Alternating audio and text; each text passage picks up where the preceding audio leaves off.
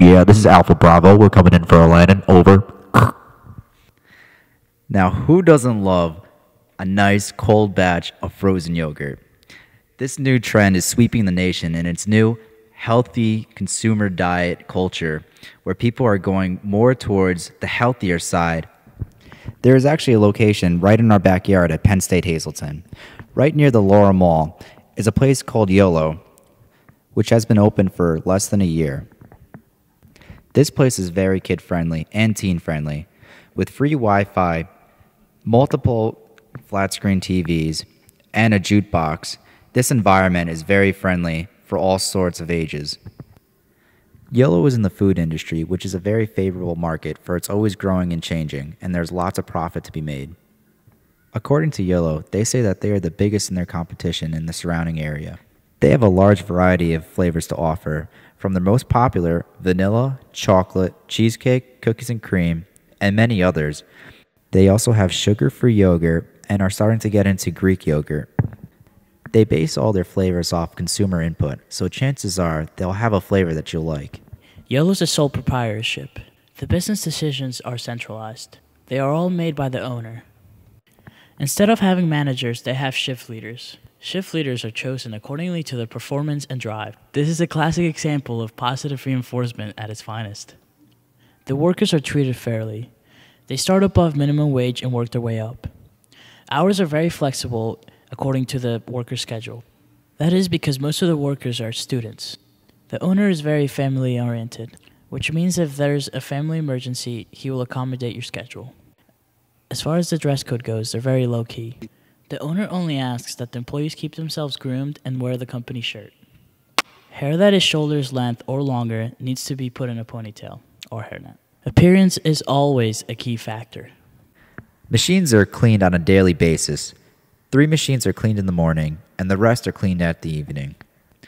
Every month, all the machines are tested on the cleanliness and on their performance. All this is to make sure that everything runs properly. The company's aesthetics are vital. When you first walk into YOLO and you look around, the first thing that comes to mind is this is a very modern look. This is partly due to the TVs and furniture in the location. There is plenty of available seating, and all the walls have TVs on them.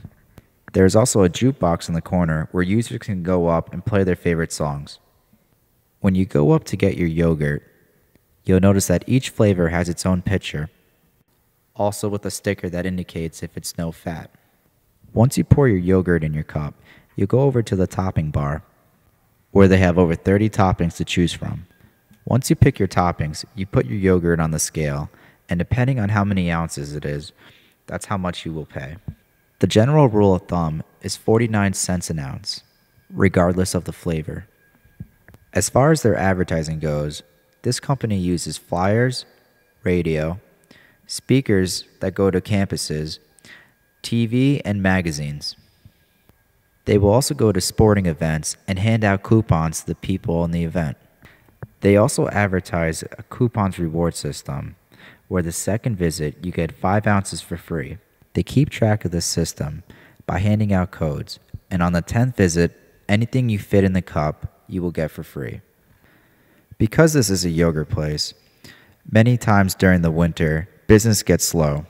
To counteract this fact, they have introduced other things like pies, cake, Belgian waffles, and setting up smoothies to attract customers.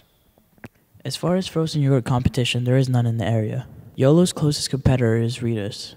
YOLO states that it's better than Rita's for many reasons. One is because Rita's closes during the winter and YOLO doesn't. The other one is the health factor.